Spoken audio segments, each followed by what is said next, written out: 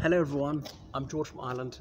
Here I am on Robert Street in London, uh, just off the Strand, which is a famous thoroughfare. Anyhow, so behind me is the house where a number of famous people lived. Thomas Hood, the poet, John Galsworthy, um, the writer, um, uh, Robert Adam, I think, the, the architect, but also Sir James Barrie. Sir James Barrie I'm going to concentrate on today. So anyway, these um, number one to number three on this street from here, uh, at one point that was all connected. And much of these were built as expensive flats in the early 19th century. So very close to the River Thames, you can't see it.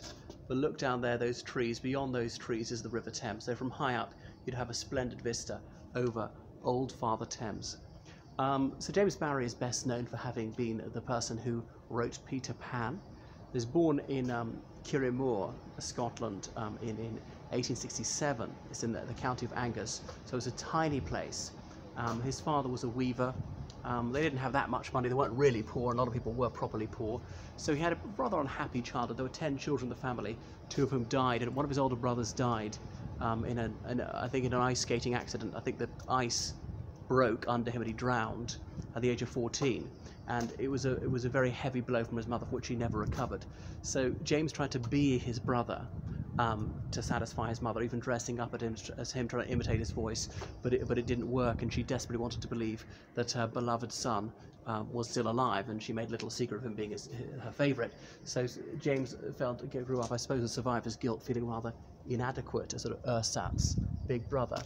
Um, anyway, uh, he was very gifted. He um, read with avidity, and then he went to Edinburgh University um, in 1878, and very few people went to university at the time. So he was beginning um, rather later than usual.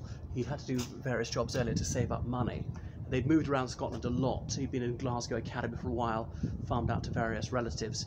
Um, they were Protestants of a, of a very severe puritanical kind, so little colour or sparkle in his life.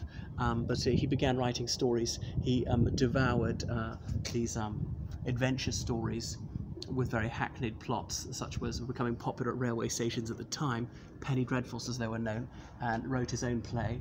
Uh, so whilst an undergraduate, he began as a theatre critic for one of Edinburgh's daily newspapers. It was a stage where most people read a newspaper um, every day, and the theatre was obviously at the height of its popularity because it was a bit before cinema came along. Um, anyway, later he moved to London. He made his made uh, waves as a journalist. He was a very short man, five foot three, uh, with a moustache, which I don't think did anything for him. So quite modest, sometimes quite morose, but uh, was, was, friends with many literary figures uh, here, like Yeats. He exchanged letters with um, uh, with uh, Robert Louis Stevenson, who was by this stage was in, in, Samoa, that island of the Pacific Ocean, with his American wife and, and uh, his stepson, but they never met face to face. He was given a pressing invitation to move out to Samoa by Stevenson, but he declined. So Stevenson was um, perhaps the best popular novelist of the time. Um, he knew George Bernard Shaw, who was a next door neighbour. Um, so he met everyone who was anyone in, in, in, literary circles at the time, and that older generation of, of uh, novelists, like, say, Thomas Hardy, who was still alive back then. Um, anyway, so he married, um, but uh, it wasn't a very successful marriage. They had no children. It was, I'm not saying that makes it unsuccessful, but it was unhappy in other ways. And eventually, he discovered his wife was having a long-term affair with another man, not just for a thrill, but she genuinely loved this other guy. So he wanted to to end the relationship. Could they separate? No. He wanted to be scared, spare the scandal of a divorce, but that wasn't happening. His wife said that she wouldn't promise not to be with uh, Gilbert Cannan. So, so Barrie then said, well, push has come to shove, I'm going to divorce you. The names will be dragged through the court, their names will be dragged through the mud, as it were. But um, some of his um, powerful friends persuaded um, much of a, most newspapers not to cover their, the divorce, so his name didn't come up in most newspapers. So his, his reputation was largely spared. Not that it was his fault, but if you got divorced, even if your spouse committed adultery, that was held to be a disgrace for both parties. So he knew Herbert Asquith, the, the, the Prime Minister.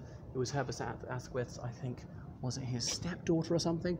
One of his relatives, anyway, was was his uh, was um, James Barrie's secretary. Um, so he published um, lots of novels, um, grown-up novels as well as ones for children. But his, his, his adult novels are, are, basically unknown. I've not read any of them, and it's it's, it's a, a, um, a, common misconception he invented the name Wendy. Wendy already existed, but he did popularize it. Um, he was friends with the Llewelyn Davies, Davis family.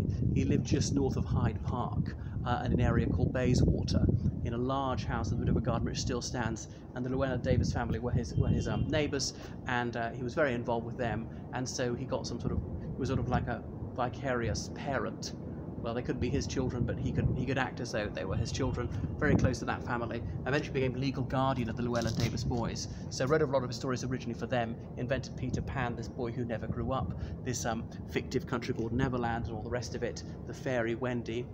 And um, I remember having that read to me when I was little. And I remember when Wendy dies. And if every child of the world says, I believe in fairies, then Wendy will come back to life. Worked for me.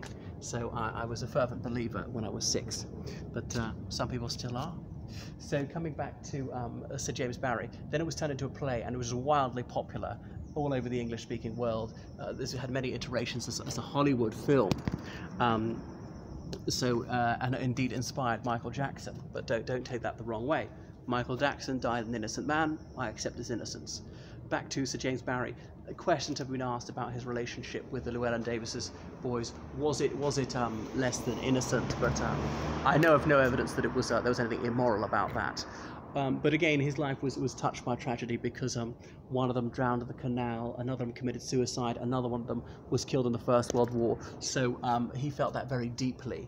Um, despite being lionized by society, he died in many ways quite a lonely man.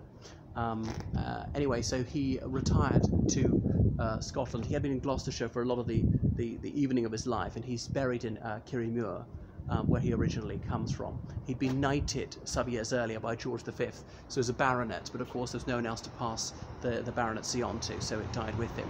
Um, so that is uh, Sir James Barrie. So please follow me on Twitter and Instagram, on Facebook, book online lessons with me in history, in politics, in religious studies, French and law. Get me to help you with your dissertation, your essay, uh, your thesis, or whatever it may be. And um, yes, I'll be your tour guide in London whenever tourism reopens. Looks like it's not going to be for a couple of months yet. yet. All right, toodle pip.